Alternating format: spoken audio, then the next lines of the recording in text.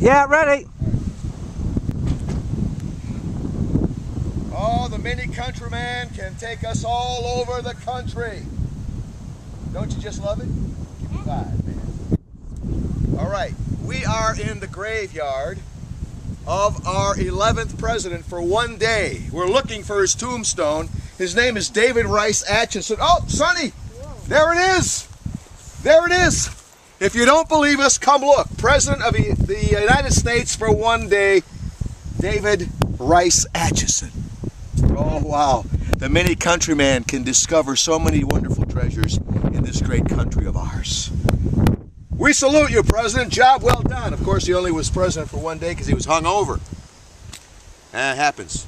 Don't drink too much, guys. Let this be a reminder to you. Anyways, he was about 81 years old. Very good.